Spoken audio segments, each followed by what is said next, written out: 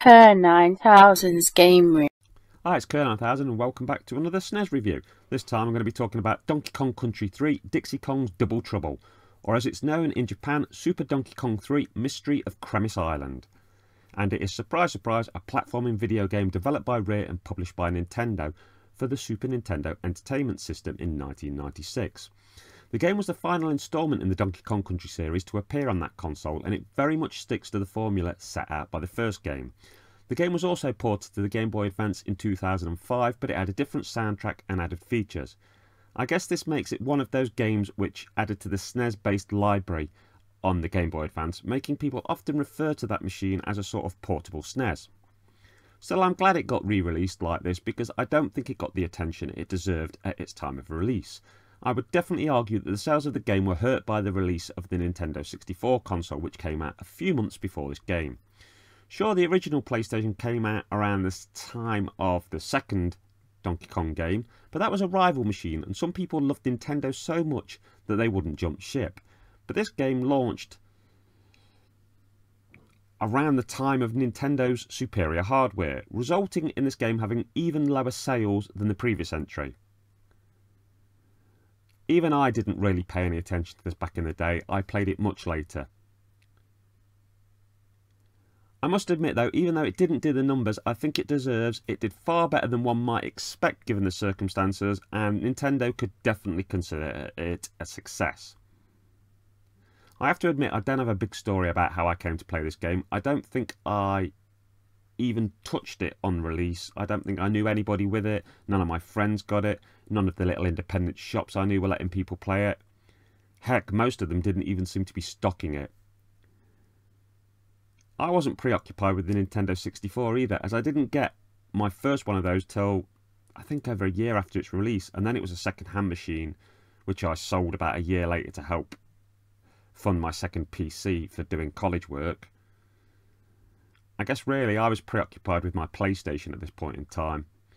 I was probably playing Tekken 2 and King's Field and stuff of that ilk. I got my first copy of Donkey Kong Country 3 as an American version um, alongside the other games in the trilogy as American copies. And I can't pin down in my mind exactly when I got them, but it was a Christmas present. Um, I think the GameCube would have been the main console under my television at that time. So, uh, but my SNES was set up in another room, and once dinner was out of the way, I had a bash at this game, and that would be my first proper experience of it. Okay, so back to reviewing the game. In this game, Dixie Kong has got a promotion from sidekick status to the main hero, and her sidekick is her baby cousin, Kiddy Kong. This is something I always found a little weird with the Donkey Kong Country games. Mario is the hero in the first Mario, the hero in the second Mario, and pretty much every Mario moving on. Apart from the odd time he gets captured or goes missing, and Luigi fills in. But in the Donkey Kong games, in the actual numbered sequel, Donkey Kong is gone and his sidekicks become the hero. And then a sidekick's sidekick becomes a hero. Uh, so yeah, it's a little strange, but you know, that's what we've got. I never really got on with the Dixie character. I know a lot of people complain that Diddy was a product of board meetings and throwing something that was hip and cool at the time, a cape wearing, boombox carrying, dancing, you know, promotional tool. But I liked him. I really did, and uh, Dixie just felt like a let's have a female Kong so we aren't seen as sexist and girls not like this sort of thing. Maybe other people feel different to me on this, and I guess beyond a mild annoyance, it doesn't really alter the game. Kiddy Kong also feels a little barrel scrapey to me, to be fair. Um, a bit like the Scrappy Doo of the franchise. Personally, I'd kind of hoped that they would have gone a little bigger with things. That we would have had some Super Mario 2 Mario USA going on with like four characters you can select from, all with their own strengths and weaknesses. Okay, I'm aware that I've gone a little negative here, but let's just stop and admit that the first game in this series particularly shocked the living heck out of all of us. People assumed it was headed for the N64 and didn't think the humble SNES could handle something like that. So it's a bit negative of me to expect giant leaps again and again, given that this is on the same hardware. What we did get was a series which constantly provided a high level of entertainment and tried to provide more and more content, despite the fact that it must have been pushing the ever-living crud out of the system. So let's get on to the positives.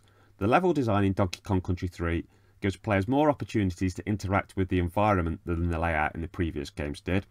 Sure, the game still contains the standard mix of platform, jumping, enemy killing, rope climbing and barrel blasting, uh, blasting into walls and floors to smash them, but now there are also switches to pull, rocket barrels to ride in, and other little added bits.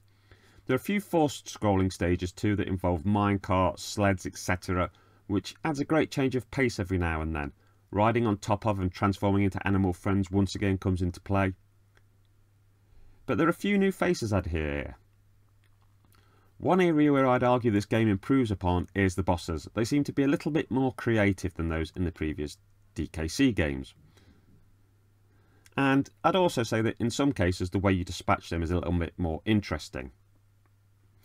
But I don't want to give spoilers here, as uh, people really need to give this third entry a try.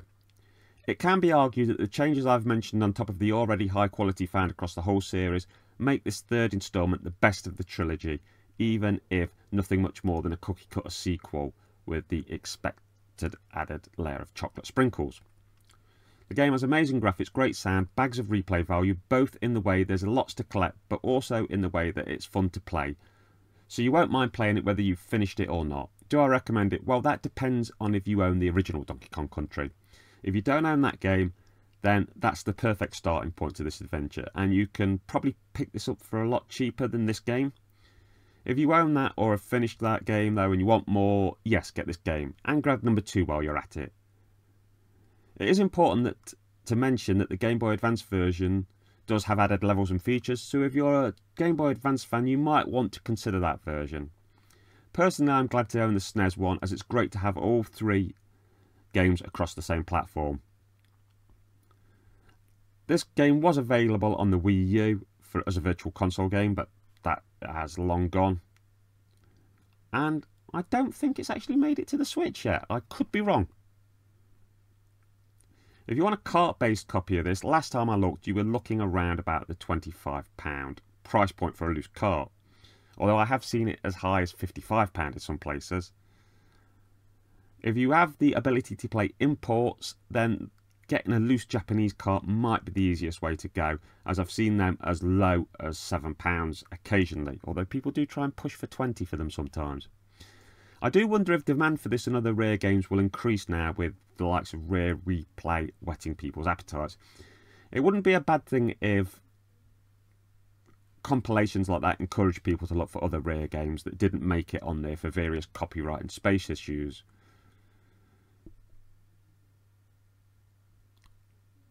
I also hope that uh, with Rare Replay having done so well, that Microsoft might take another look at Rare and pumping money back into it and getting it to do something new and interesting. But uh, who knows? Anyway, thank you for watching my video and join me when I review something else. Anyway, thanks for watching. Latest, taters. Hi, it's Kerr9000. I'd just like to say thank you for making it to the end of my video. I've got lots of stuff on my channel, my horror house doing horror reviews, my game room where I talk about video games, sci-fi station, my diet corner videos, all kinds of stuff. I can also be found on the Retro Gamer U forum and the J Arcade forum, which are both great places full of great people and some great video game conversations. At the end of this video there'll be a little icon to tick if you want to subscribe, a link to a video and a link to one of my playlists. I'd also like to recommend the wonderful talented Just Jessica 1988 on TikTok, who does a lot of diet videos and is my supportive partner. Thank you once again for watching my video and particularly if you follow me, thank you for all of your support. Have a great rest of your day. Laters, taters.